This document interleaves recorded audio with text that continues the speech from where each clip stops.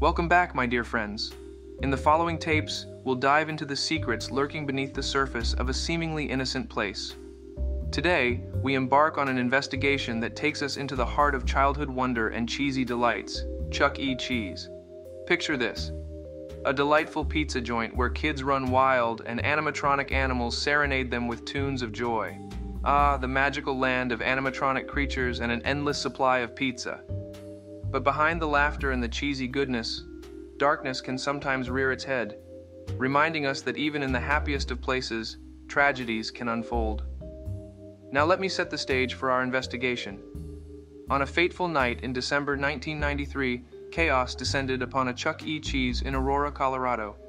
As the nighttime crew prepared to close shop, little did they know that their world was about to be shattered, leaving an indelible mark on the city and its people.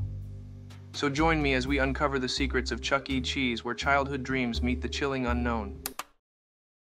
Imagine, if you will, a world before the internet became the all-encompassing force that binds us together today. A time when phone calls were made on landlines and letters were the vessels that carried our thoughts across the miles.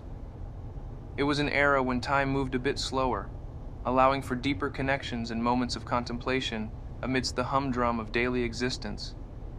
The air was filled with the melodies of iconic songs that still echo in our hearts today. Grunge music swept through the nation, speaking to the souls of a disenchanted youth. Nirvana, Pearl Jam, and Soundgarden painted the emotional landscape with their raw lyrics and haunting melodies, giving voice to a generation yearning for something real. In the realm of cinema, the silver screen came alive with unforgettable stories. From the magical streets of a town called Halloween, where the Pumpkin King yearned for something more, to the heartwarming tale of a young dinosaur forging an unlikely friendship, 1993 birthed cinematic masterpieces that ignited our imaginations and touched our hearts. The world watched in awe as the Hubble Space Telescope captured breathtaking images from the depths of the universe, unveiling galaxies that seemed to stretch into eternity. Yet, amidst the beauty and splendor, shadows cast their long reach across the tapestry of 1993. The world was not without its share of sorrow and upheaval. My friends, we embark on a journey through the corridors of Aurora, Colorado in the year 1993. In 1993, Aurora, Colorado had an approximate population of 236,734 inhabitants, and it was a patchwork of diverse communities, a tapestry woven with threads of resilience and unity. It stood proudly, a city embracing both progress and the quiet charms of a close-knit community. A sense of belonging hung in the air, as neighbors shared smiles and nodded in recognition fostering a spirit of camaraderie that brought solace in the face of an ever-changing world. Aurora's neighborhoods, lined with stately trees and picturesque houses, formed the backdrop for stories of families, dreams, and aspirations. Children's laughter danced through the streets. It was a city where the simplicity of a backyard barbecue or an evening stroll held the power to weave memories that would endure for a lifetime. Ah, the haunting hour of 9 p.m. on December 14, 1993, where destiny would unfold its merciless hand and etch an indelible mark. This tragic event, shrouded in sorrow, would cast its haunting shadow, forever lingering in the depths of Aurora. At the center of our investigation, we find Nathan Dunlap. His story begins with a troubled household. Born on April 8, 1974, his mother, Carol Dunlap, grappled with bipolar disorder. Her erratic behavior haunted the lives of Nathan and his siblings, Picture this Carol, in the dead of night, berating her children while roaming the house in a state of undress. Obsessive cleaning sprees, furniture moving, and excessive bathing became her norms. She even threw Nathan into the trash when he was just an infant. Carol's aggression extended to Nathan's younger brother Garland, and she openly expressed her hatred for her daughter Ardenia.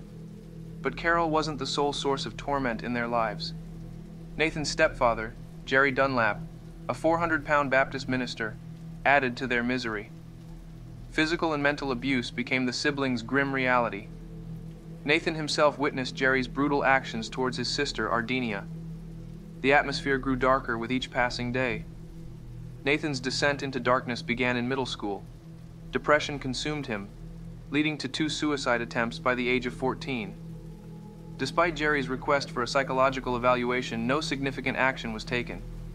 Nathan's high school years saw him engaged in armed robberies using golf clubs and firearms. He ended up in a juvenile detention center, later transferring to a psychiatric hospital due to an episode. Then, Dunlap found employment at the very restaurant that would come to bear witness to the unfolding tragedy.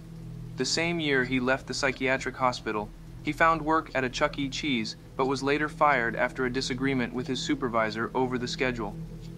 The termination left him frustrated, and he expressed a desire to seek revenge. And so, my dear friend, we find ourselves at the precipice of destiny, where the threads of Nathan Gerard Dunlap's life intertwine with a fateful night that looms on the horizon.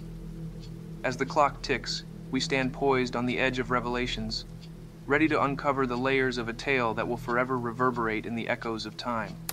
As night cast its gloomy veil over the Chuck E. Cheese restaurant, Nathan Dunlap stepped into its fluorescent lit embrace. Hunger gnawed at his insides, leading him to order a humble ham and cheese sandwich.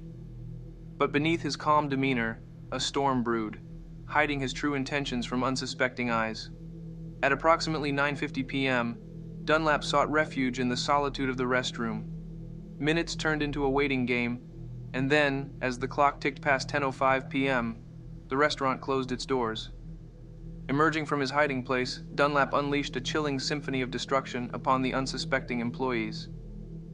Sylvia Crowell, just 19 years old, her hands diligently wiping the salad bar, became the first victim. From close range, a bullet found its mark, piercing her right ear, leaving her mortally wounded.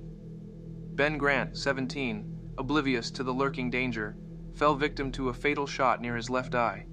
The innocence of his vacuuming routine shattered in an instant. Colleen O'Connor, 17, her pleas for mercy echoing through the air, sank to her knees in a desperate bid for survival.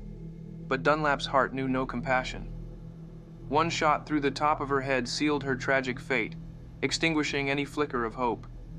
Amidst this chaos, Bobby Stevens, 20, unknowingly returned from his smoke break, believing the sounds from within the restaurant were innocent children at play. As he entered, the menacing figure of Dunlap materialized, raising a handgun with deadly intent. A shot found its mark, striking Stevens in the jaw, sending him crashing to the floor. Playing dead became his only solace, his last threat of survival. Dunlap's dark dance led him to Marge Kohlberg, 50, the store manager. With menace in his eyes, he forced her to unlock the safe, her life hanging in the balance. Compliance did not guarantee reprieve. A shot pierced her ear, a cruel reminder of Dunlap's merciless nature. And when he spied the slightest movement, he sealed her fate with a second shot through her other ear.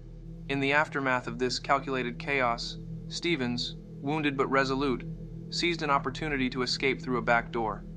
Finding solace in the nearby Mill Pond apartment complex, he pounded on a door, a beacon of hope amidst the darkness, desperately seeking aid for himself and his fallen comrades. As authorities arrived, they were met with a chilling scene of sorrow. Two lifeless bodies graced the restaurant's hallway, another lay hidden in a nearby room, and the fourth, a beacon of authority, found her final resting place in the manager's office. Crowell, though her spirit clung to life, her brain betrayed her, leaving her declared brain dead.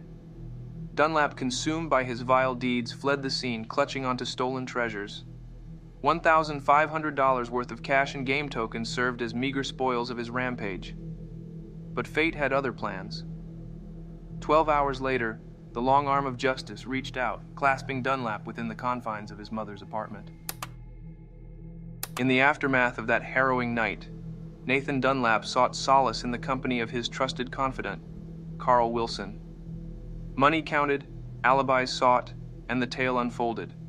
Meanwhile, Tracy, his girlfriend, provided a testament to his whereabouts, claiming he had called her from the very Chuck E. Cheese he had been dismissed from, engaging in video game arcades. The winds of news carried whispers to Nathan's mother, Carol, who rushed to the scene with a flurry of concerned parents. Unaware of her own son's involvement, she found herself comforting Colleen O'Connor's grieving mother. The irony of the situation eluded her completely. It was Bobby, the lone survivor, who held the key to the truth. His words pointed directly at Nathan Dunlap, leaving no room for doubt. And so, the dance of justice began. The investigators approached Carol Dunlap, her heart refusing to accept the notion that her son could be responsible for such an atrocity. Fueled by the belief in her son's innocence, she reached out, paging him urgently, demanding his presence. Nathan, however, dallied, tending to his hands with peroxide and cleansing himself with a shower. In a plea for assistance, he entrusted Tracy with the task of hiding his clothes and the gun, concealed behind her grandparents' shed. To secure his secret further, Nathan stashed a substantial sum of money beneath the freezer's cool embrace. With his affairs in order, he departed Tracy's dwelling, heading back to his own house, where the police awaited his arrival. Questioning, swabbing for gunshot residue, and seizing his garments as evidence became the order of the day. But Nathan, ever evasive, left his house early the following morning, seeking refuge in the abode of another acquaintance, Charles Waters. It was there, amidst the whispers and revelations, that Nathan Dunlap's true nature found voice. As Charles unveiled the unfolding events at the local Chuck E. Cheese, Nathan's chilling response echoed through the air, confessing to the deeds that stained that tragic night. In the realm of justice, the story of Nathan Gerard Dunlap takes a haunting turn. Found guilty of heinous crimes, he faced a sentence of four counts of first degree murder, attempted murder, robbery, and burglary in 1996. The weight of his actions led to a death sentence and an additional 108 years behind bars. During the sentencing, an outburst consumed him, with a flurry of oaths and protests that echoed for three long minutes. Years later, in 2008, Dunlap sought a glimmer of hope through a habeas corpus petition. He claimed his trial attorney had failed him by neglecting to present his mental health struggles and history of child abuse as a defense. However, his appeal met a firm rejection in August 2010. The ruling acknowledged a fair trial, competent representation, and a justifiable sentence of death. As the wheels of justice turned, Dunlap's fate faced further scrutiny. In 2012, an appeal of his death sentence was denied by the 10th Circuit Court of Appeals. His lawyers argued that his mental illness should have been presented as evidence during the sentencing phase, potentially sparing him from the ultimate penalty. Yet, their pleas fell on deaf ears. The clock ticked forward, and an execution date loomed. On May 1, 2013, Judge William Sylvester announced that mid August of that year would mark the end of Dunlap's journey. But fate, it seems, had different plans. Just days later, Colorado Governor John Hickenlooper intervened, signing a temporary reprieve that spared Dunlap from the gallows. The reprieve ensured that as long as Hickenlooper held power, Dunlap's execution would be indefinitely suspended. It was a decision that carried weight, drawing attention and debate from various groups, including the NAACP, who raised concerns about the disparities of the death penalty among different races. The reprieve remained in place until a new governor could review the case and decide its ultimate course. Change arrived on November 6, 2018, with Jared Polis assuming the mantle of governor. During his campaign, Polis expressed intentions to repeal the death penalty in Colorado. As for the Dunlap case, he wisely chose not to comment before reviewing the specifics and making an informed decision befitting the weight of his office. Finally, on March 23, 2020, the ink of change was etched upon the pages of law. Polis signed a bill repealing the death penalty in Colorado, forever altering the landscape of justice.